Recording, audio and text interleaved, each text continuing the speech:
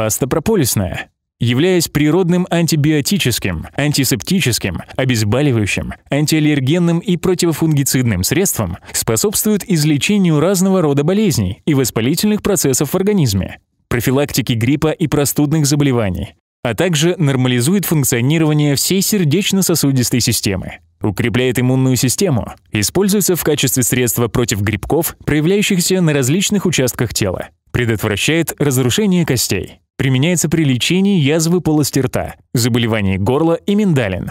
Прополис, являясь сильнейшим противовоспалительным средством, применяется при лечении простатита и аденомы предстательной железы. Для более эффективного лечения рекомендуем применять прополисную пасту в комплексе с эпимедиумной пастой и чаем из семян сельдерея.